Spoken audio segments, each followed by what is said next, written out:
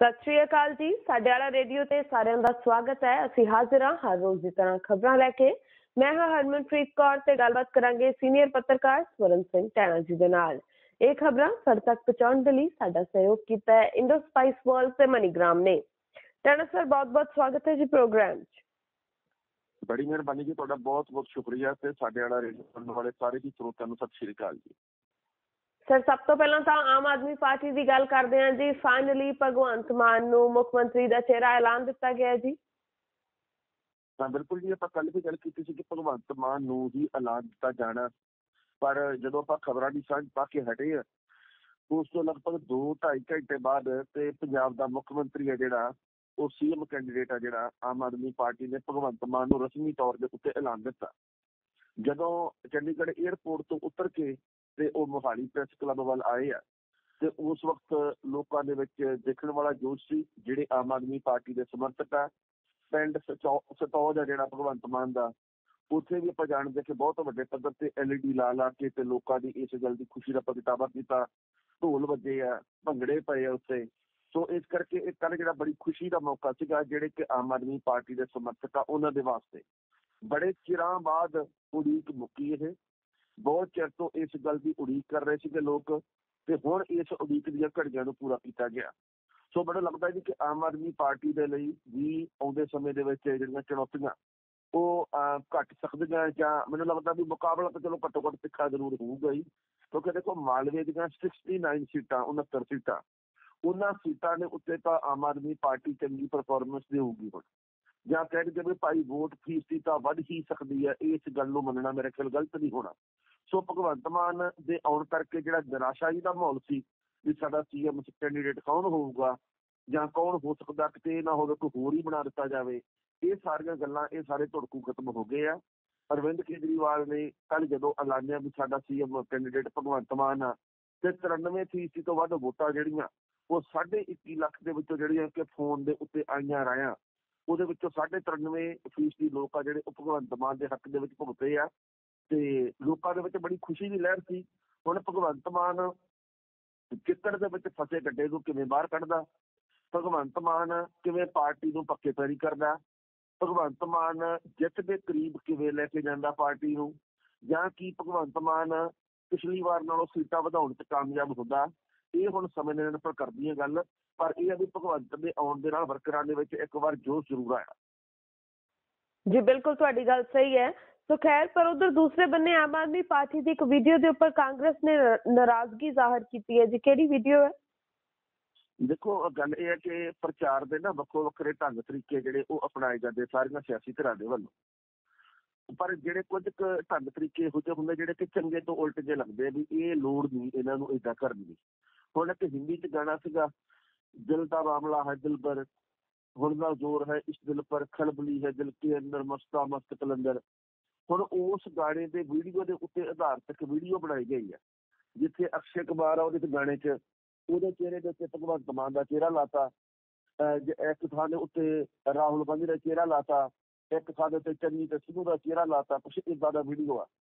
ਉਸ ਵੀਡੀਓ ਦੇ ਵਿੱਚ ਅਸੀਂ ਦੇਖਦੇ ਹਾਂ ਕਿ ਸਿੱਧੂ ਤੇ ਚੰਨੀ ਇੱਕ ਦੂਜੇ ਦੇ ਚਪੇੜਾ ਮਾਰ ਰਹੇ ਆ। ਤੇ ਉੱਥੇ ਕੇਜਰੀਵਾਲ ਭੰਗੜਾ ਪਾ ਰਿਹਾ। ਤੇ ਜਿਹੜੀ ਵਿਦਿਆ ਬਾਲਨ ਆ ਉਹਨੂੰ ਮੁੱਖ ਮੰਤਰੀ ਦੀ ਚੇਅਰ ਦੱਸਿਆ ਗਿਆ ਇਸ ਤਰੀਕੇ ਦੇ ਨਾਲ ਵੀ ਭਾਈ ਇਹਨਾਂ ਦੇ ਵਿੱਚੋਂ ਕਿਹੜਾ ਇਸ ਚੇਅਰ ਦੇ ਉੱਤੇ ਕਾਬਜ਼ ਹੋਊਗਾ। ਤੇ ਭਗਵੰਤ ਮਾਨ ਪੌੜੀਆਂ ਉਤਰ ਰਿਹਾ ਤੇ ਉਹ ਇਸ ਰੂਪ ਦੇ ਵਿੱਚ ਗਾਣਾ ਤੇ ਇਹਦੇ ਉੱਤੇ ਲੋਕਾਂ ਨੇ ਬੜਾ ਇਤਰਾਜ਼ ਕੀਤਾ। ਕਿ ਆਹ ਜਿਹੜਾ ਨੀਵੇਂ ਪੱਧਰ ਦਾ ਪ੍ਰਚਾਰ ਦਾ ਤਰੀਕਾ ਜਾਂ ਇਹ ਸ਼ੋਭਦਾ ਨਹੀਂ ਹੈਗਾ ਇਦਾਂ ਦੇ ਅਹ, ਤਜਰਬੇ ਨਹੀਂ ਕਰਨੇ ਚਾਹੀਦੇ। ਮੈਨੂੰ ਲੱਗਦਾ ਵੀ ਆਮ ਆਦਮੀ ਪਾਰਟੀ ਆ, ਉਹ ਆਪਣੀ ਨਿੱਜਰ ਸੋਚ ਦੇ ਨਾਲ ਹੀ ਅੱਗੇ ਵਧਣੀ ਚਾਹੀਦੀ ਹੈ ਜਾਂ ਕੋਈ ਵੀ ਹੋਰ ਪਾਰਟੀ ਹੋਵੇ, ਤਾਂ ਗਾਣਿਆਂ ਦੇ ਉੱਤੇ ਤਸਵੀਰਾਂ ਤਸਵੀਰਾਂ ਲਾ ਕੇ, ਫੋਟੋਆਂ ਜਿਹੀਆਂ ਲਾ ਕੇ, ਇਹ ਚਲਮਾ ਜਾਂ ਕੰਮ ਆ ਜਿਹੜਾ, ਉਹ ਕਰਨ ਤੋਂ ਗੁਰੇਜ਼ ਹੀ ਕਰਨਾ ਚਾਹੀਦਾ। ਪਰ ਦੇਖੋ ਬਾਕੀ, ਇਹ ਚੀਜ਼ਾਂ ਕੁਝ ਕੁ ਲੋਕਾਂ ਨੂੰ ਸ਼ਾਇਦ ਪਸੰਦ ਵੀ ਆਉਂਦੀਆਂ ਹੋਣ, ਤਾਂ ਕਰਕੇ ਬਣਾਈਆਂ ਹੋਣ, ਕਿਉਂਕਿ ਸਾਡੇ ਪੰਜਾਬੀਆਂ ਦੇ ਵਿੱਚੋਂ ਇੱਕ ਹਿੱਸਾ ਸਵਾਦ ਜਾਂ ਲੈਣ ਦਾ ਆਦੀ ਵੀ ਆ, ਵੀ ਭਾਈ ਉਹਦੇ ਇਹਨੂੰ ਕਰਤਾ, ਉਹ ਨੱਚਿਆ ਬਹੁਤ, ਉਹ ਟੱਪਿਆ ਬਹੁਤ, ਉਹ ਡਿੱਗਿਆ ਬਹੁਤ, ਉਹ ਕੁੱਟਿਆ ਬਹੁਤ ਐ ਕਰਨ ਦੀ ਸੁਭਾਅ ਆਪਣੇ ਸੋ ਬਾਕੀ ਦੇਖੋ ਪਰ ਇਹ ਸਾਰੀਆਂ ਸਿਆਸੀ ਪਾਰਟੀਆਂ ਵਾਸਤੇ ਜ਼ਰੂਰੀ ਹੈ ਕਿ ਉਹ ਚੰਗੀ ਗੱਲ ਕਰਨ ਸੰਜੀਦਾ ਗੱਲ ਕਰਨ ਤਰਕ ਵਾਲੀ ਗੱਲ ਕਰਨ ਸਵਾਦ ਲੈਣ ਦੀਆਂ ਗੱਲਾਂ ਬੰਦ ਕਰੀਏ ਆਪਾਂ। ਜੀ ਬਿਲਕੁਲ ਤੁਹਾਡੀ ਗੱਲ ਸਹੀ ਹੈ। ਉਧਰ ਚਰਨਜੀਤ ਸਿੰਘ ਚੰਨੀ ਹੋਰਾਂ ਦੇ ਰਿਸ਼ਤੇਦਾਰਾਂ ਦੇ ਘਰ ਕਹਿੰਦੇ ਈਡੀ ਨੇ ਵੱਡੀ ਕਾਰਵਾਈ ਕਰ ਦਿਖਾਈ ਹੈ। ਹਾਂ ਬਿਲਕੁਲ ਜੀ ਚਰਨਜੀਤ ਸਿੰਘ ਚੰਨੀ ਹੋਰਾਂ ਦੇ ਘਰ ਦੇ ਵਿੱਚ ਜਿਹੜੇ ਅਸਲ 'ਚ ਰਿਸ਼ਤੇਦਾਰਾਂ ਦੇ ਘਰ ਜਿਹੜਾ ਰਿਸ਼ਤੇ ਦੇ ਵਿੱਚ ਭਤੀਜਾ ਲੱਗਦਾ ਹਨੀ ਹਨੀ ਨਾਂ ਦਾ ਮੁੰਡਾ। ਉਹਨਾਂ ਦੇ ਘਰ ਦੇ ਵਿੱਚ ਤੇ ਹੋਰ ਪੰਜਾਬ ਦੇ ਕਈ ਥਾਵਾਂ ਤੇ ਈਡੀ ਦੇ ਵੱਲੋਂ ਛਾਪੇਮਾਰੀ ਕੱਲ ਕੀਤੀ ਗਈ ਹੈ। ਇਸ ਛਾਪੇਮਾਰੀ ਦੇ ਵਿੱਚ ਇਹ ਗੱਲ ਪਤਾ ਲੱਗੀ ਕਿ ਕਿ ਕਰੋੜਾਂ ਰੁਪਈਆ ਵੀ ਬਰਾਮਦ ਕੀਤਾ ਗਿਆ। ਕਈ ਕੁਝ ਜਿਹੜਾ ਹੋਰ ਬਰਾਮਦ ਕੀਤੇ ਜਾਣ ਦੀ ਆਸ ਹੈਗੀ ਹੈ ਜਾਂ ਬਰਾਮਦ ਕੀਤਾ ਹੋਣਾ ਹਾਲੇ ਤੱਕ ਨਸ਼ਰ ਨਹੀਂ ਕੀਤਾ ਗਿਆ। ਪਤਾ ਲੱਗਾ ਜੀ ਕਿ ਰੇਟ ਮਾਈਨਿੰਗ ਦੇ ਮਾਮਲੇ 'ਚ ਮਨੀ ਲਾਂਡਰਿੰਗ ਦੇ ਮਾਮਲੇ ਦੇ ਵਿੱਚ ਇਹ ਸਾਰੀ ਕਾਰਵਾਈ ਸ਼ਾਇਦ ਕੀਤੀ ਗਈ ਹੈ। ਇਹੋ ਜਿਹੀ ਜਾਣਕਾਰੀ ਹੈ ਜਿਹੜੀ ਉਹ ਪ੍ਰਾਪਤ ਹੋ ਰਹੀ ਹੈ। ਉਸ ਤੋਂ ਬੜੀ ਮਹੱਤਵਪੂਰਨ ਗੱਲ ਇਹ ਹੈ ਕਿ ਜਿਸ ਤਰੀਕੇ ਦੇ ਨਾਲ ਹੁਣ ਚੋਣਾਂ ਸਿਰ ਦੇ ਉੱਤੇ ਅਤੇ ਈਡੀ ਦੀ ਛਾਪੇਮਾਰੀ ਹੋ ਗਈ ਹੈ ਸ਼ੁਰੂ। ਇਹਦੇ ਕਰਕੇ ਵਿਰੋਧੀ ਪਾਰਟੀਆਂ ਨੇ ਤਾਂ ਸਾਰਾ ਕੁਝ ਕਹਿਣਾ ਹੀ ਸੀ। ਕੱਲ ਅਕਾਲੀ ਦਲ ਨੇ ਗੱਲ ਕਹੀ ਹੈ ਜੀ ਕਿ ਇਹ ਹੈ ਹੀ ਇਹੋ ਜਿਹੇ ਚੰਨੀ ਹੋਰੀ ਉਤਲੇ ਬਣਾਈਆਂ ਵੀ ਭਾਈ ਮੈਂ ਆਮ ਬੰਦਾ, ਮੈਂ ਆਮ ਮਸਲੇ ਹੱਲ ਕਰਨਾ। ਪਰ ਵਿੱਚੋਂ ਇਹ ਐਵੇਂ ਹੈ ਜਿਵੇਂ ਕਿ ਹੁਣ ਜਾਣਕਾਰੀ ਆ ਰਹੀ ਹੈ। ਉਹਨਾਂ ਨੇ ਇਹ ਗੱਲ ਕਹੀ ਹੈ। ਪਰ ਕੱਲ ਚਰਨਜੀਤ ਸਿੰਘ ਚੰਨੀ ਹੋਰਾਂ ਨੇ ਕਿਹਾ ਵੀ ਜਦੋਂ ਪੱਛਮੀ ਬੰਗਾਲ ਦੇ ਵਿੱਚ ਚੋਣਾਂ ਸੀ ਤੇ ਉਸ ਵਕਤ ਵੀ ਈਡੀ ਦੀ ਕਾਰਵਾਈ ਇਹ ਵੀ ਹੁੰਦੀ ਸੀ ਕਿ ਮਮਤਾ ਬੈਨਰਜੀ ਦੇ ਉੱਤੇ।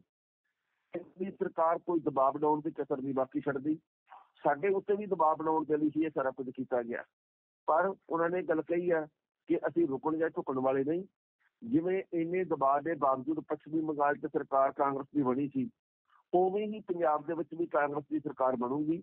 ਬਹੁਤ ਸਾਰੇ ਕਾਂਗਰਸੀਆਂ ਦੇ ਉੱਤੇ ਵੀ ਦਬਾਅ ਵੱਜ ਰਿਹਾ। ਬੜੇ ਤਰੀਕੇ ਹੋਰ ਅਪਣਾਏ ਜਾ ਰਹੇ ਜੀ। ਤੇ ਸਰ, ਨਵਜੋਤ ਸਿੰਘ ਸਿੱਧੂ ਹੋਰਾਂ ਦਾ ਇੱਕ ਬਿਆਨ ਇਸ ਵਾਰ ਫਿਰ ਤੋਂ ਚਰਚਾ ਦੇ ਵਿੱਚ ਹੈ। ਉਹ ਕਹਿੰਦੇ ਕਿ ਜੇਕਰ ਹਾਈ ਕਮਾਂਡ ਸਿਆਣੀ ਹੈ, ਤਾਂ ਪੰਜਾਬ ਦੇ ਹਿੱਤ ਦੇ ਵਿੱਚ ਹੀ ਫੈਸਲਾ ਕਰੇਗੀ। ਤਾਂ ਬਿਲਕੁਲ ਗੱਲ ਇਹ ਜੀ ਕਿ ਹੁਣ ਤੱਕ ਨਵਜੋਤ ਸਿੰਘ ਸਿੱਧੂ ਇਹ ਗੱਲ ਕਹਿੰਦੇ ਰਹੇ ਆ ਵੀ ਭਾਈ ਆਮ ਆਦਮੀ ਪਾਰਟੀ ਦੇ ਕੋਲੇ ਬਰਾਤੀ ਹੈਗੇ ਆ। ਬੈਂਡ ਵਾਜੇ ਵਾਲੇ ਵੀ ਆ, ਪਰ ਇਹਨਾਂ ਦਾ ਲਾੜਾ ਕਿੱਥੇ ਆ? ਕੱਲ ਪੱਤਰਕਾਰਾਂ ਨੇ ਇਹਨੂੰ ਸਵਾਲ ਕਰ ਲਿਆ ਵੀ ਆਮ ਆਦਮੀ ਪਾਰਟੀ ਦੇ ਤੋਂ ਲਾੜਾ ਲੱਭ ਲਿਆ। ਉਹਨਾਂ ਕੋਲ ਹੁਣ ਬਰਾਤੀ ਵੀ ਹੈ। ਬੈਂਡ ਵਾਲੇ ਵੀ ਆ, ਲਾੜਾ ਵੀ ਆ, ਸਰਵਾਲਾ ਵੀ ਆ, ਸਭ ਕੁਝ ਉਹਨਾਂ ਦੇ ਕੋਲ ਹੈਗਾ। ਤੇ ਤੁਹਾਡਾ ਲਾੜਾ ਕਿੱਥੇ ਆ? ਤੁਸੀਂ ਦੱਸੋ ਵੀ ਤੁਹਾਡਾ ਲਾੜਾ ਕਦੋਂ ਸਾਹਮਣੇ ਆਊਗਾ, ਮਤਲਬ ਤੁਹਾਡਾ ਮੁੱਖ ਮੰਤਰੀ ਚਿਹਰਾ ਹੁਣ ਕਿੱਥੇ ਆ? ਤਾਂ ਫਿਰ ਨਵਜੋਤ ਸਿੱਧੂ ਨੇ ਗੱਲ ਕਹੀ ਹੈ ਜੀ ਕਿ ਸਾਡੀ ਹਾਈ ਕਮਾਂਡ ਸਿਆਣੀ ਹੈ, ਉਹ ਆਪੇ ਹੀ ਲਾੜਾ ਲੱਭ ਲੂਗੀ ਉਹਨੂੰ ਪਤਾ ਅਸੀਂ ਕਿਹਨੂੰ ਲਾੜਾ ਬਣਾਉਣਾ, ਕੀ ਕਰਨਾ, ਕੀ ਨਹੀਂ ਕਰਨਾ। ਤੇ ਪੱਤਰਕਾਰਾਂ ਨੇ ਕਿਹਾ ਜੀ ਕਿ ਫਿਰ ਵੀ ਹੁਣ ਤੁਸੀਂ ਤਾਂ ਵਾਰ-ਵਾਰ ਕਹਿੰਦੇ ਹੁੰਦੇ ਸੀ, ਲਾੜਾ ਲਿਆਓ ਲਾੜਾ ਲਿਆਓ। ਉਹ ਕਹਿੰਦੇ ਜੀ ਲਾੜਾ ਤਾਂ ਚਲੋ ਲੱਭ ਗਿਆ, ਬਰਾਤੀ ਵੀ ਇਹਨਾਂ ਦੇ ਕੋਲੇ ਹੈਗੇ ਆ, ਪਰ ਅਸਲ ਦੇ ਵਿੱਚ ਇਹ ਆ, ਉਹ ਕਹਿੰਦੇ ਵੀ ਗੱਲ ਵੀ ਇਹ ਪੰਜਾਬ ਦੇ ਲੋਕਾਂ ਨੇ ਤੈਅ ਕਰਨਾ ਵੀ ਹੁਣ ਵਿਆਹ ਕਰਨਾ ਕਿ ਨਹੀਂ ਕਰਨਾ, ਹੁਣ ਲਾੜਾ ਤਾਂ ਕੱਲਾ ਹੈਗਾ, ਬਰਾਤੀ ਵੀ ਚਲੋ ਹੈਗੇ ਆ, ਸੋ ਇਦਾਂ ਦੀਆਂ ਗੱਲਾਂ ਬਾਤਾਂ ਉਹਨਾਂ ਨੇ ਕਹੀਆਂ ਹੈਗੀਆਂ। ਤੇ ਦੂਜੀ ਗੱਲ ਇਹ ਹੈ ਜੀ ਕਿ ਪੰਜਾਬ ਦੇ ਵਿੱਚ ਮੁੱਖ ਮੰਤਰੀ ਚਿਹਰੇ ਦੀ ਕੁਰਸੀ ਨੂੰ ਲੈ ਕੇ ਰੌਲਾ ਗੋਲਾ ਪਈ ਜਾਂਦਾ ਤੇ ਪਈ ਜਾਣਾ, ਤੇ ਹਾਲੇ ਤੱਕ ਹਾਈ ਕਮਾਨ ਨੇ ਕੋਈ ਫੈਸਲਾ ਨਹੀਂ ਕੀਤਾ ਵੀ ਕਿਹਦੇ ਚਿਹਰੇ ਤੇ ਆਧਾਰ 'ਚ ਚੋਣ ਲੜਨੀ ਹੈ ਕਿਉਂਕਿ ਜਿੱਥੇ ਵੀ ਹੁਣ ਆਪਾਂ ਕੰਨਾਂ ਦੇ ਉੱਤੇ ਬੋਰਡ ਦੇਖਦੇ ਹਾਂ, ਚੌਂਕਾਂ 'ਚ ਬੋਰਡ ਦੇਖਦੇ ਹਾਂ, ਉੱਥੇ ਤਿੰਨ ਫੋਟੋਆਂ ਲੱਗੀਆਂ, ਸਿੱਧੂ ਦੀ, ਚੰਨੀ ਦੀ ਤੇ ਜਾਖੜ ਦੀ। ਉਹਦੇ ਥੱਲੇ ਲਿਖਿਆ ਬਦਲੇਗਾ ਪੰਜਾਬ ਆਵੇਗੀ ਨਵੀਂ ਸੋਚ, ਕੁਛ ਏਦਾਂ ਦਾ ਵਾਵਾ ਕੁਛ ਲਿਖਿਆ ਹੋਇਆ। ਪਰ ਇਹ ਵੀ ਕੋਈ ਇੱਕ ਚਿਹਰਾ ਹਾਈ ਕਮਾਂਡ ਪੇਸ਼ ਕਰਨ ਦੇ ਰੌਂ ਦੇ ਵਿੱਚ ਨਹੀਂ ਹੈਗੀ। ਇਹ ਬਾਅਦ ਦੇ ਵਿੱਚ ਹੀ ਤੈਅ ਹੋਊਗਾ ਵੀ ਭਾਈ ਕਿਹਨੂੰ ਮੁੱਖ ਮੰਤਰੀ ਬਣਾਉਣਾ ਤੇ ਕੀ ਕਰਨਾ, ਕੀ ਨਹੀਂ ਕਰਨਾ। ਪਰ ਇਹ ਵੀ ਕਾਂਗਰਸ ਦੇ ਵਿੱਚ ਕਲੇਸ਼ ਜਾਰੀ ਹੈ। ਕਾਂਗਰਸ ਦੇ ਵਿੱਚ ਕਲੇਸ਼ ਹਾਲੇ ਹੋਰ ਵਧੂਗਾ। ਮੈਨੂੰ ਲੱਗਦਾ ਨਹੀਂ ਵੀ ਕਿਸੇ ਪਾਸੇ ਬ੍ਰੇਕ ਲੱਗਣੀ ਹੈ। ਜੀ ਬਿਲਕੁਲ ਪਰ ਦੂਸਰੇ ਬੰਨੇ ਖਬਰਾਂ ਤਾਂ ਇਹ ਵੀ ਨੇ ਕਿ ਕਈ ਕਾਂਗਰਸੀਆਂ ਦੀਆਂ ਜਿਹੜੀਆਂ ਟਿਕਟਾਂ ਨੇ ਉਹ ਕੱਟੀਆਂ ਜਾ ਸਕਦੀਆਂ ਨੇ ਤੇ ਜੇਕਰ ਇਦਾਂ ਹੋਇਆ ਫਿਰ ਤਾਂ ਹੋਰ ਜ਼ਿਆਦਾ ਵਿਰੋਧ ਵਧੂਗਾ। ਚਾਰਾਂ ਦੀਆਂ ਟਿਕਟਾਂ ਇਸ ਤੋਂ ਪਹਿਲਾਂ ਕੱਟੀਆਂ ਗਈਆਂ। ਉਹਨਾਂ ਦਾ ਰੌਲਾ ਬਹੁਤ ਪਿਆ ਹੋਇਆ। ਉਹ ਰੌਲਾ ਮੈਨੇਜ ਨਹੀਂ ਹੋ ਰਿਹਾ। ਇਹਦੇ ਕਰਕੇ ਅਗਲੀ ਸੂਚੀ ਹਾਲੇ ਤੱਕ ਜਾਰੀ ਨਹੀਂ ਹੋਈ ਕਾਂਗਰਸ ਦੀ। ਤੇ ਮੈਨੂੰ ਲੱਗਦਾ ਵੀ ਜੇਕਰ ਇਹ ਰੌਲਾ ਮੈਨੇਜ ਨਾ ਹੋਇਆ ਤਾਂ ਆਉਂਦੇ ਸਮੇਂ ਦੇ ਵਿੱਚ ਖਿਲਾਰੇ ਹੋਰ ਵੀ ਪੈਣਗੇ। ਤੇ ਕਾਂਗਰਸ ਦੇ ਵਿੱਚ ਹਰ ਵਾਰੀ ਇਹੋ ਜਿਹੇ ਖਿਲਾਰੇ ਪੈਂਦੇ ਆ। ਹੁਣ ਜਿਹੜੀ ਦੂਜੀ ਸੂਚੀ ਹੈ ਮੰਨਿਆ ਜਾ ਰਿਹਾ ਵੀ ਉਹਦੇ ਵਿੱਚ ਵੀ ਕਈਆਂ ਦੇ ਨਾਵਾਂ ਦੇ ਉੱਤੇ ਕੈਂਤੀ ਕਰਨੀ ਹੈ ਚਾਰ ਤੋਂ ਲੈ ਕੇ ਪੰਜ ਵਿਧਾਇਕ ਆ ਜਿਹੜੇ ਸਿਟਿੰਗ ਐਮਐਲਏ ਉਹਨਾਂ ਦੇ ਨਾਂ ਦੇ ਉੱਤੇ ਕੈਂਤੀ ਕਰਨ ਦੀ ਪੂਰੀ ਪੂਰੀ ਆਸ ਹੈਗੀ ਆ। ਉਸ ਤੋਂ ਵੀ ਮਹੱਤਵਪੂਰਨ ਗੱਲ ਇਹ ਹੈ ਵੀ ਜਿਹੜੇ 12 13 ਦੇ ਕਰੀਬ ਕਾਂਗਰਸ ਨੇ ਆਪਣੇ ਵਿਧਾਇਕਾਂ ਦੀਆਂ ਟਿਕਟਾਂ ਹੋਲਡ ਕੀਤੀਆਂ ਉਹਦੇ ਵਿੱਚ ਦਵਿੰਦਰ ਸਿੰਘ ਘੁਬਾਇਆ ਵੀ ਆ ਕੁਲਦੀਪ ਸਿੰਘ ਵੈਦ ਆ ਅਮਰੀਕ ਸਿੰਘ ਢਿੱਲੋਂ ਆ ਸਤਕਾਰ ਕੌਰ ਆ ਸੁਖਪਾਲ ਅ, ਭੁੱਲਰ ਆ ਦਵਿੰਦਰ ਘੁਬਾਇਆ ਤੇ ਕਈ ਹੋਰ ਹੈਗੇ ਆ। ਇਹ ਜਿਹੜੇ ਸਾਰੇ ਦੇ ਸਾਰੇ ਕਾਂਗਰਸੀ ਵਿਧਾਇਕ ਆ ਇਹਨਾਂ ਦੇ ਬਾਬਤ ਹਾਈ ਕਮਾਂਡ ਦੇ ਕੋਲੇ ਵਧੀਆ ਰਿਪੋਰਟਾਂ ਨਹੀਂ ਪਹੁੰਚੀਆਂ ਗੁੱਡ ਰਿਪੋਰਟਿੰਗ ਨਹੀਂ ਹੋਈ। ਉਹਨਾਂ ਨੇ ਇਹ ਗੱਲ ਕਹੀ ਹੈ ਕਿ ਕਿ ਕਿਸੇ ਦੇ ਉੱਤੇ ਦੋਸ਼ ਲੱਗੇ ਆ ਕੋਈ ਕਿਸੇ ਦੇ ਮਾੜੇ ਬਿਆਨਾਂ ਦੇ ਕਰਕੇ ਆ ਕੋਈ ਲੋਕਾਂ 'ਚ ਨਾਰਾਜ਼ਗੀ ਕੋਈ ਆਪਣੇ ਹਲਕੇ ਦੇ ਵਿੱਚ ਜਾ ਕੇ ਵੜਿਆ ਜੀ। ਕੋਈ ਇਤਕੀ ਜਿੱਤਣ ਦੇ ਸਮਰੱਥ ਨਹੀਂ ਕਿਸੇ ਦਾ ਕੁਛ, ਕਿਸੇ ਦਾ ਕੁਛ ਇਦਾਂ ਦੀ ਗੱਲ ਆ। ਹੁਣ ਪਿਛਲੇ ਦਿਨੀ ਬੈਕ ਖਾਸ ਪਿੰਡ ਹੈ ਇੱਕ ਫਾਜ਼ਿਲਕਾ ਵਾਲੀ। ਤੇ ਉੱਥੇ ਦਵਿੰਦਰ ਸਿੰਘ ਘੁਬਾਇਆ ਹੋਰੀ ਗਏ ਸੀ ਤੇ ਲੋਕਾਂ ਨੇ ਵਿਰੋਧ ਇੰਨਾ ਕੀਤਾ, ਉਹ ਕਹਿੰਦੇ 5 ਸਾਲਾਂ ਚ ਤਿੰਨ ਵਾਰੀ ਤੁਸੀਂ ਸਾਡੇ ਪਿੰਡ ਵੜੇ ਆ। ਅੱਜ ਤੀਜੀ ਵਾਰ ਆਏ ਆ। ਤੁਹਾਡੇ ਕੋਲੋਂ ਕਰਾਉਣਾ ਕੀ ਹੈ ਚਲੋ ਭੱਜੋ ਇੱਥੋਂ। ਤੇ ਉਹਨੂੰ ਗੱਡੀ ਦੇ ਵਿੱਚੋਂ ਬਾਹਰ ਵੀ ਉਤਰ ਦਿੱਤਾ ਗਿਆ। ਕਿਉਂਕਿ ਆਉਂਦੇ ਸਮੇਂ ਦੇ ਵਿੱਚ ਮੈਨੂੰ ਇਹ ਲੱਗਦਾ ਵੀ ਜਿਹੜਾ ਵੀ ਜਿੱਤੂਗਾ, ਲੋਕ ਇਹ ਚਾਹੁੰਦੇ ਜੀ ਕਿ ਸਾਡੇ ਪਿੰਡ ਦੇ ਵਿੱਚ, ਸਾਡੇ ਮੁਹੱਲੇ ਦੇ ਵਿੱਚ ਆ ਕੇ ਵੇਲੇ ਸਰ ਸਾਡੇ ਮਸਲੇ ਦਾ ਹੱਲ ਕੀਤਾ ਜਾਵੇ। ਇਹ ਨਹੀਂ ਵੀ ਜਦੋਂ ਜਿੱਤ ਗਏ ਤੇ ਪਹਿਲੇ 6 ਮਹੀਨੇ ਤੇ ਜਸ਼ਨ ਮਨਾਉਂਦੇ ਰਹਿਣਾ ਤੇ ਆਖਰੀ 6 ਮਹੀਨੇ ਦੇ ਵਿੱਚ ਸਰਗਰਮ ਹੋਣਾ। ਤੇ ਵਿੱਚ ਵਿਚਾਲੇ ਭੋਗਾਂ ਤੇ ਜਾਏ ਤੇ ਵਿਆਹਾਂ ਤੇ ਜਾਏ, ਲੋਕ ਹੁਣ ਇਸ ਗੱਲ ਤੋਂ ਬਾਹਰ ਉੱਠ ਰਹੇ ਆ। ਲੋਕਾਂ ਦੇ ਮਸਲੇ ਦਾ ਹੱਲ ਕਰੋ। ਭੋਗ ਤੇ ਉਹਨੂੰ ਕਿਹੜਾ ਬੰਦਾ ਦੁਬਾਰਾ ਜਿਉਂਦਾ ਹੋ ਜਾਂਦਾ? ਜਾਂ ਵਿਆਹ ਦੇ ਉੱਤੇ ਕਿਹੜਾ ਕੋਈ ਬੰਦਾ ਆਉਂਦਾ ਦੀ ਜੇ ਤੁਸੀਂ ਨਾ ਹੋ ਤਾਂ? ਸੋ ਇਹ ਲੋਕਾਂ ਦੇ ਮਸਲਿਆਂ ਦੇ ਵਿੱਚ ਇਦਾਂ ਜਾਣ ਦੇ ਨਾਲੋਂ ਜੇਕਰ ਲੋਕਾਂ ਦੇ ਮਸਲੇ ਹੱਲ ਕੀਤੇ ਜਾਣ, ਗਲੀਆਂ ਦੇ, ਨਾਲੀਆਂ ਦੇ, ਪਾਣੀ ਦੇ, ਸੀਵਰੇਜ ਦੇ, ਸਟਰੀਟ ਲਾਈਟਾਂ ਦੇ, ਹੋਰ ਜਿਹੜੇ ਵੀ ਨਿੱਕੇ ਮੋਟੇ ਮਸਲੇ ਆ, ਉਹ ਲੋਕ ਚਾਹੁੰਦੇ ਵੀ ਉਹਦੇ ਵੱਲ ਖਿਆਲ ਕਰੋ ਹੁਣ ਜਿਹੜੇ ਮੈਨੂੰ ਲੱਗਦਾ ਆਉਂਦੇ ਸਮੇਂ ਦੇ ਵਿੱਚ ਨਹੀਂ ਹੈ ਕਰਨਗੇ, ਉਹਨਾਂ ਦਾ ਹਾਲ ਇਹੀ ਹੋਇਆ ਕਰੂਗਾ। ਜੀ, ਬਿਲਕੁਲ ਸਵਾਲ ਕਰਨੇ ਵੀ ਬਣਦੇ ਨੇ ਔਰ ਹੁਣ ਲੋਕ ਥੋੜੇ ਜਿਹੇ ਜਾਗਰੂਕ ਹੋਏ ਲੱਗਦੇ ਨੇ, ਇਸ ਗੱਲ ਦੀ ਖੁਸ਼ੀ ਹੈ। ਖੈਰ, ਦੂਸਰੇ ਬੰਨੇ ਰਾਣਾ ਗੁਰਜੀਤ ਸਿੰਘ ਹੋਰਾਂ ਨੂੰ ਪਾਰਟੀ ਚੋਂ ਕੱਢਣ ਦੀ ਮੰਗ ਉੱਠੀ ਹੈ ਜੀ, ਕਿਉਂ? ਦੇਖੋ, ਰਾਣਾ ਗੁਰਜੀਤ ਸਿੰਘ ਨੂੰ ਪਾਰਟੀ ਤੋਂ ਕੱਢਣ ਦੀ ਮੰਗ ਆ ਜਿਹੜੀ, ਉਹ ਇਸ ਕਰਕੇ ਉੱਠੀ ਆ ਕਿਉਂਕਿ ਉਹਨਾਂ ਦੇ ਉੱਤੇ ਦੋਸ਼ ਲੱਗ ਰਹੇ ਆ। ਦੋਸ਼ ਉਹਨਾਂ ਦੇ ਉੱਤੇ ਇਹ ਲੱਗ ਰਹੇ ਆ ਜੀ ਕਿ ਉਹ ਪਾਰਟੀ ਨੂੰ ਕਮਜ਼ੋਰ ਕਰ ਰਹੇ ਆ, ਉਹਨਾਂ ਨੇ ਪੁੱਤ ਦੇ ਵੱਲੋਂ ਚੋਣ ਲੜਨ ਦਾ ਆਜ਼ਾਦ ਤੌਰ ਦੇ ਉੱਤੇ ਚੋਣ ਲੜਨ ਦਾ ਐਲਾਨ ਕੀਤਾ ਗਿਆ।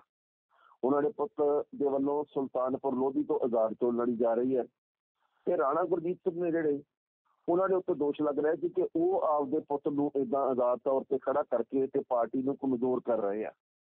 ਜਿਹੜੇ ਚਾਰ ਉਹਨਾਂ ਦੇ ਸ਼ਰੀਕੇ ਵਾਲੇ ਵਿਧਾਇਕ ਆ, ਬਾਵਾ ਹੈ ਜਿਹੜੀ, ਉਹਦੇ ਵਿੱਚ ਇੱਕ ਹੈਗੇ ਜੀ ਬਲਵਿੰਦਰ ਧਾਰੀਵਾਲ ਮਨਤੇਜ ਚੀਮਾ ਤੇ ਇੱਕ ਹੋਰ ਆ, ਸੁਖਪਾਲ ਖਹਿਰਾ ਇਹਨਾਂ ਦੇ ਵੱਲੋਂ ਇੱਕ ਚਿੱਠੀ ਲਿਖੀ ਗਈ ਆ ਸੋਨੀਆ ਗਾਂਧੀ ਨੂੰ ਵੀ ਰਾਣਾ ਗੁਰਜੀਤ ਸਿੰਘ ਆ ਜਿਹੜੇ, ਉਹ ਆਪਦੇ ਮੁੰਡੇ ਨੂੰ ਜਾਣਬੁੱਝ ਕੇ ਖੜਾ ਕਰਦੇ ਆ। ਇਹ ਪਾਰਟੀ ਦੇ ਉਮੀਦਵਾਰ ਨੂੰ ਹਰਾਉਣ ਦੇ ਚਾਹਵਾਨ ਆ। ਇਹ ਪਾਰਟੀ ਨੂੰ ਕਮਜ਼ੋਰ ਕਰ ਰਹੇ ਆ, ਆਪ ਕਾਂਗਰਸ ਦੇ ਵੱਲੋਂ ਚੋਣ ਲੜ ਰਹੇ ਮੁੰਡਾ ਇਹਨਾਂ ਨੇ ਆਜ਼ਾਦ ਤੌਰ ਤੇ ਖੜਾ ਕਰਤਾ, ਇਸ ਕਰਕੇ ਪਾਰਟੀ ਵਿਰੋਧੀ ਕਾਰਵਾਈ ਦੇ ਕਰਕੇ ਇਹਨਾਂ ਨੂੰ ਪਾਰਟੀ ਦੇ ਵਿੱਚੋਂ ਬਾਹਰ ਕੱਢਿਆ ਜਾਵੇ। ਹਾਲਾਂਕਿ ਉਹਨਾਂ ਨੇ ਮੰਗ ਕੀਤੀ ਆ, ਮੈਨੂੰ ਲੱਗਦਾ ਨਹੀਂ ਕਿ ਇਹ ਮੰਗ ਪੂਰੀ ਹੋਊਗੀ, ਚੋਣਾਂ ਹੁਣ ਸਿਰ ਦੇ ਉੱਤੇ ਆ, ਗੱਲ ਨਹੀਂ ਬਣਦੀ।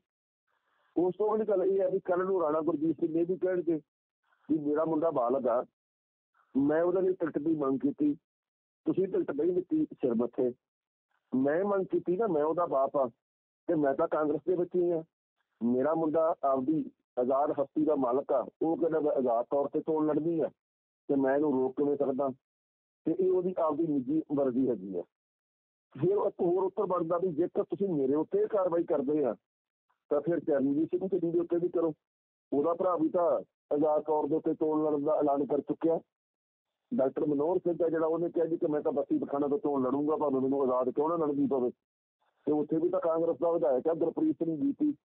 ਸੋ ਉਹਨਾਂ ਦੇ ਕੋਲ ਇੱਕ ਉਦਾਹਰਨ ਹੈਗੀ, ਇਸ ਹਿਸਾਬ ਨਾਲ ਤਾਂ ਫਿਰ ਮੁੱਖ ਮੰਤਰੀ ਚੰਨੀ ਨੂੰ ਵੀ ਪਾਰਟੀ ਤੋਂ ਕੱਢੋ।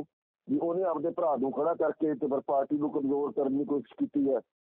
ਸੋ ਰਾਣਾ ਗੁਰਜੀਤ ਸਿੰਘ ਦੇ ਸ਼ਰੀਕੇ ਭਾਈਚਾਰੇ ਵਾਲੇ ਜਿਹੜੇ ਵਿਧਾਇਕ ਆ, ਉਹਨਾਂ ਨੇ ਇਸ ਗੱਲ ਦੀ ਮੰਗ ਕੀਤੀ ਹੈ ਵੀ ਭਾਈ ਇਦਾਂ ਹੋਣਾ ਚਾਹੀਦਾ ਪਰ ਹੋਣਾ ਇਸ ਮਾਮਲੇ ਤੋਂ ਕੁਝ ਨਹੀਂ ਹੈ ਜੀ, ਬਿਲਕੁਲ। ਸਰ ਵਿਕਰਮ ਮਜੀਠੀਆ ਹੋਰਾਂ ਦੀ ਅੰਤਰਿਮ ਜ਼ਮਾਨਤ ਜਿਹੜੀ ਹੈ ਉਹ 24 ਤੱਕ ਵੱਧ ਗਈ ਹੈ ਜੀ? ਹਾਂ, ਬਿਲਕੁਲ ਜੀ, ਅਹ ਵਿਕਰਮ ਸਿੰਘ ਮਜੀਠੀਆ ਹੋਰਾਂ ਦੀ ਅੰਤਰਮ ਜ਼ਮਾਨਤ ਆ ਜਿਹੜੀ ਉਹ 24 ਤੱਕ ਹੁਣ ਵੱਧ ਗਈ ਹੈ ਤੇ 24 ਤੱਕ ਹੁਣ ਉਹਨਾਂ ਨੂੰ ਗ੍ਰਿਫਤਾਰ ਨਹੀਂ ਕੀਤਾ ਜਾਊਗਾ ਤੇ 24 ਤੱਕ ਉਹ ਆਪਣੇ ਕੰਮਕਾਜ ਆ ਜਿਹੜੇ ਪ੍ਰਚਾਰ ਦੇ ਰੂਪ ਦੇ ਵਿੱਚ ਕਰਦੇ ਰਹਿ ਸਕਣਗੇ। ਵਿਕਰਮ ਸਿੰਘ ਮਜੀਠੀਆ ਜਿਹੜੇ ਉਹਨਾਂ ਦੀ ਮੁਸ਼ਕਲ ਦੇ ਵਿੱਚ ਵਾਧਾ ਹੋ ਗਿਆ ਸੀ, ਪਿਛਲੇ ਦਿਨੀ ਆਪਾਂ ਜਾਣਦੇ ਡਰੱਗ ਮਾਮਲੇ ਦੇ ਵਿੱਚ, ਹੋਰ ਕਈ ਮਾਮਲੇ ਉਹਨਾਂ ਨਾਲ ਜੁੜ ਗਏ ਸੀ।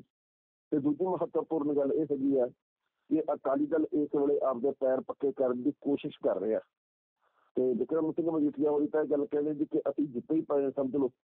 ਪਰ ਐਤਕੀ ਕਈ ਥਾਵਾਂ ਦੇ ਉੱਤੇ ਅਕਾਲੀ ਦਲ ਦਾ ਕਾਂਗਰਸ ਨਾਲ ਮੁਕਾਬਲਾ, ਕਈ ਥਾਵਾਂ ਦੇ ਉੱਤੇ ਆਪ ਨਾਲ ਵੀ ਮੁਕਾਬਲਾ ਹੈਗਾ। ਸੋ ਮਾਝੇ ਤੇ ਦੁਆਬੇ ਦੇ ਵਿੱਚ ਕਾਂਗਰਸ ਜਿਹੜੀ ਆ, ਉਹ ਠੀਕ ਆ ਤੇ ਉਧਰ ਅਕਾਲੀ ਦਲ ਦੀਆਂ ਕਈ ਸੀਟਾਂ ਦੇ ਉੱਤੇ ਪੱਕ ਭਾਰੂ ਆ, ਪਰ ਮਾਲਵੇ ਦੇ ਨਾਲੋਂ ਮਾਝੇ ਦੁਆਬੇ ਦੇ ਵਿੱਚ ਆਮ ਆਦਮੀ ਪਾਰਟੀ ਹੌਲੀ ਆ ਹਲੇ। ਸੋ ਕੱਲ ਨੂੰ ਕੀ ਹੋਊਗਾ ਕੁਝ ਕਹਿ ਨਹੀਂ ਸਕਦੇ। ਪਰ ਅਕਾਲੀ ਦਲ ਦਾ ਇਹ ਕਹਿਣਾ ਵੀ ਜਿਹੜੀ ਜ਼ਮਾਨਤ ਮਿਲੀ ਆ ਵਿਕਰਮ ਮਜੀਠੀਆ ਨੂੰ ਇਹਦੇ ਕਰਕੇ ਸੱਚ ਦਾ ਪਤਾ ਲੱਗਿਆ ਕਿਉਂਕਿ ਜੇਕਰ ਅਸੀਂ ਝੂਠੇ ਹੁੰਦੇ, ਜੇਕਰ ਅਸੀਂ ਗਲਤ ਹੁੰਦੇ, ਤਾਂ ਇਸ ਮਾਮਲੇ ਦੇ ਉੱਤੇ ਅਦਾਲਤ ਨੇ ਸਾਨੂੰ ਜ਼ਮਾਨਤ ਨਹੀਂ ਸੀ ਦੇਣੀ ਜਿਹੜੀ ਕਿ ਹੁਣ ਮਿਲੀ ਹੋਈ ਹੈ। ਜੀ ਸਰ, ਉਧਰ ਨਵਜੋਤ ਸਿੰਘ ਸਿੱਧੂ ਹੋਰਾਂ ਦਾ ਇੱਕ ਬਿਆਨ ਜਿਹੜਾ ਇਸ ਵੇਲੇ ਚਰਚਾ ਦਾ ਵਿਸ਼ਾ ਬਣਿਆ ਹੋਇਆ ਹੈ, ਉਹਦੇ ਬਾਰੇ ਚ ਆਪਾਂ ਗੱਲ ਕਰਦੇ ਹਾਂ। ਜਦੋਂ ਉਹਨਾਂ ਨੂੰ ਪੱਤਰਕਾਰਾਂ ਨੇ ਇਹ ਪੁੱਛਿਆ ਕਿ ਜਿਹੜੇ ਵੀ ਬੰਦੇ ਕਾਂਗਰਸ ਛੱਡ ਕੇ ਆਮ ਆਦਮੀ ਪਾਰਟੀ ਦੇ ਵਿੱਚ ਜਾ ਰਹੇ ਨੇ, ਉਹਨਾਂ ਨੂੰ ਆਮ ਆਦਮੀ ਪਾਰਟੀ ਉਮੀਦਵਾਰ ਐਲਾਨ ਰਹੀ ਹੈ, ਇਹਦੇ ਬਾਰੇ ਕੀ ਕਹੋਗੇ? ਤਾਂ ਉਹਨਾਂ ਨੇ ਇੱਕ ਬਿਆਨ ਦਿੱਤਾ ਜਿਹੜਾ ਕਿ ਵਾਕਈ ਬਹੁਤ ਜ਼ਿਆਦਾ ਮਾੜਾ ਬਿਆਨ ਸੀ। ਉਹ ਕਹਿੰਦੇ ਤਾਂ ਸਾਡੀਆਂ ਝੂਠਾਂ ਨੇ। ਕੀ ਕਹੋਗੇ ਇਹਦੇ ਬਾਰੇ? ਦੇਖੋ, ਦੁੱਖ ਹੁੰਦਾ ਇਸ ਗੱਲ ਦੇ ਉੱਤੇ। ਜਦੋਂ ਕਿਸੇ ਵੀ ਪਾਰਟੀ ਦਾ ਕੋਈ ਵੀ ਨੇਤਾ ਮਰਿਆਦਾ ਤੋਂ ਸਖਣੀ ਗੱਲ ਕਰੂਗਾ, ਉਹਦੇ ਉੱਤੇ ਇਤਰਾਜ਼ ਹੋਣਾ ਕੁਦਰਤੀ ਹੈ। ਜਿਹੜੇ ਤਾਂ ਲੋਕ ਹੈਗੇ ਸਵਾਦ ਲੈਣ ਦੇ ਆਦੀ, ਬਈ ਦੇਖੋ, ਚੱਕਤਾ ਹੋਏ, ਬੋਲਤਾ ਹੋਏ, ਐਂ ਕਰ ਦਿੰਦਾ, ਵੱਟ ਕਰਤੇ ਹੋਏ ਝੂਠਾਂ ਕਹਤਾ ਹੋਏ, ਉਹ ਤਾਂ ਇੱਕ ਵੱਖਰਾ ਵਿਸ਼ਾ ਹੈਗਾ। ਪਰ ਜਿਹੜੇ ਲੋਕ ਸੰਜੀਦਾ ਹੈਗੇ ਆ, ਪੰਜਾਬ ਦੀ ਰਾਜਨੀਤੀ ਨੂੰ ਸਮਝਣ ਵਾਲੇ ਆ, ਉਹ ਇਹ ਚਾਹੁੰਦੇ ਆ ਵੀ ਆ ਸਵਾਦ ਵਾਲੀਆਂ ਗੱਲਾਂ, ਆੜ ਵਾਲੀਆਂ ਗੱਲਾਂ ਬੰਦ ਕਰਕੇ ਤੇ ਜਿਹੜੇ ਅਸਲ ਮੁੱਦੇ ਆ, ਅਸਲ ਤਰੀਕੇ ਨਾਲ ਚੁੱਕੇ ਜਾਣ, ਉਹਨਾਂ ਦੀ ਇੱਛਾ ਇਹ ਆ। ਹੁਣ ਨਵਜੋਤ ਸਿੰਘ ਸਿੱਧੂ ਨੂੰ ਪੱਤਰਕਾਰਾਂ ਨੇ ਸਵਾਲ ਕੀਤਾ ਵੀ ਤੁਹਾਡੇ ਬੰਦੇ ਛੱਡ ਛੱਡ ਕੇ ਕਾਂਗਰਸ ਤੇ ਆਪ ਜਾ ਰਹੇ ਆ, ਉਮੀਦਵਾਰ ਵੀ ਬਣ ਰਹੇ ਆ। ਉਹ ਕਹਿੰਦੇ ਹੈ ਕੌਣ? ਸਾਡੇ ਲਈ ਇਹ। ਕਾਂਗਰਸ ਦਾ ਝੂਠਾਂ ਇਹ, ਜਿਹੜੀਆਂ ਉਧਰ ਜਾ ਰਹੀਆਂ।